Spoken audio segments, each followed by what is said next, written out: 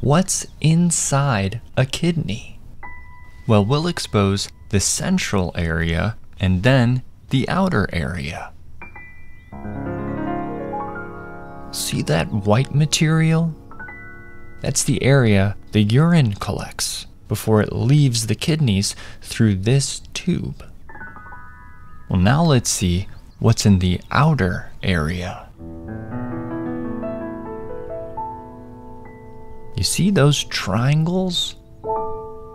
Blood enters the kidney through this tube and travels up to these triangles where urine is removed from the blood. That urine leaves through this tube, and the clean blood leaves through this one. And that's what's inside a kidney.